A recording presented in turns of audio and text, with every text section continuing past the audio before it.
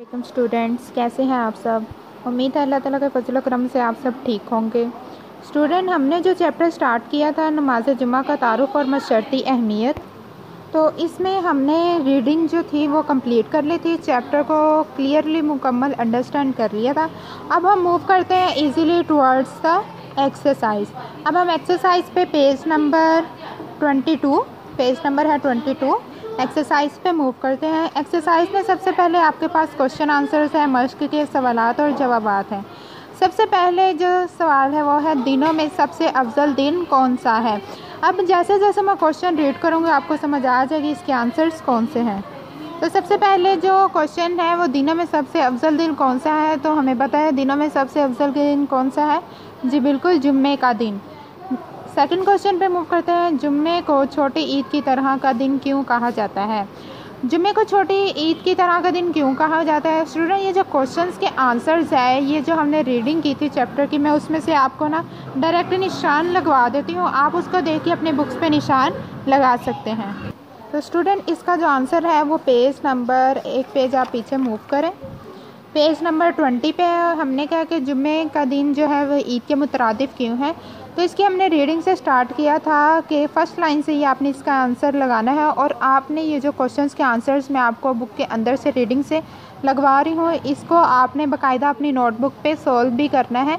Means कि आपने अपनी नोटबुक के जितने भी मैं क्वेश्चन आज आपको करवाऊँगी, निशान लगवाऊँगी, आपने इसे नीट कॉपी पे लाजमी रिटर्न फॉर्म में लिखना है।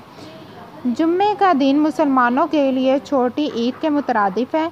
इस दिन इमाम साहिब नमाज़ से पहले खुतबा देते हैं, जिसमें मुसलमानों के अच्छे कामों की तरगीब और मजहबी बातों की तलीम दी जाती है। इस खुतबे को तवज्जो से सुनना चाहिए। स्टूडेंट, ये आपका क्वेश्चन नंबर टू का आंसर यहाँ पे कंप्लीट हो गया है।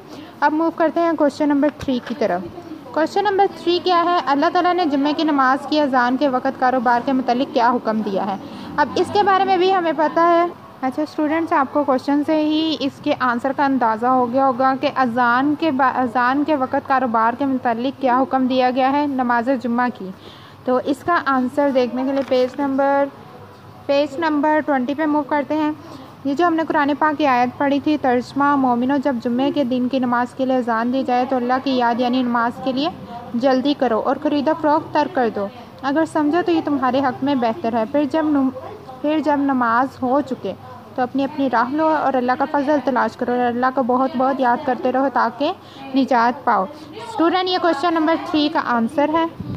अब आगे मूव करते हैं क्वेश्चन नंबर फोर की तरफ़। किसी ख़ास मजबूरी के बगैर तीन जुम्मा नमाज़ के लिए मस्जिद ना आने वालों के बारे में क्या हदीस है? तो इसके बारे में भी हमने पढ़ा था कि तीन दिन अगर लगातार जुमे की नमाज़ अदा ना की जाए तो उसके बारे में आपसे वसल्लम ने क्या फरमाया? यहाँ से पेज नंबर ट्वेंटी वन पे जहाँ पे आपका टॉपिक स्टार्ट हो रहा है, जुम्मे के दिन नमाज़ का अख्ताम इसकी फ़र्स्ट लाइन से आपने यहाँ से करना है कि हज़रत मोहम्मद अलैहि वसल्लम ने फरमाया कि अगर कोई मुसलमान किसी ख़ास मजबूरी के बगैर तीन जुम्मा तक मस्जिद में नमाज़ नहीं पढ़ेगा तो अल्लाह ताला इसके दिल पर बदनसीबी की मोहर लगा देगा। इससे फिर कभी दुरुस्त राह पर चलना नसीब ना होगा। स्टूडेंट ये क्वेश्चन नंबर फोर का आंसर है। ये फ़र्स्ट टू लाइन्स अब मूव करते हैं क्वेश्चन नंबर फाइव की तरफ़। क्वेश्चन नंबर फाइव में क्या है? सूरज जुम्मा की सायत का तर्जमा लिखा जिसमें जुमे की नमाज़ की खास हदायत दी गई है। हमने पढ़ा कि सूरज जुम्मा की आयत का तर्जमा, ये क्वेश्चन नंबर थ्री का भी आंसर था और यही स्टूडेंट क्वेश्चन नंबर फाइव का भी आंसर है। तो सूरज जुम्मा की आयत है, आयत नंबर नौ और दस तो इसका आंसर भी यही है। तो स्टूडेंट आपने जो काम करना है वो ये है कि question number one two three four और फाइव ये सारे क्वेश्चंस के आंसर्स मैंने आपको क्लियर कर दे हैं। कर दिए आपने इसको अच्छे तरीके से नीट कॉपी पे लिखना है। सारे क्वेश्चंस को ये आपने लिखना है। अगर चाहे आपके पास क्वेश्चन नंबर थ्री और क्वेश्चन नंबर फाइव एक जैसे हैं, दोबारा रिपीट हो गया है। लेकिन फिर भी आपने इसको अपनी नोटबुक्स पे लास्ट में ही लिखना है।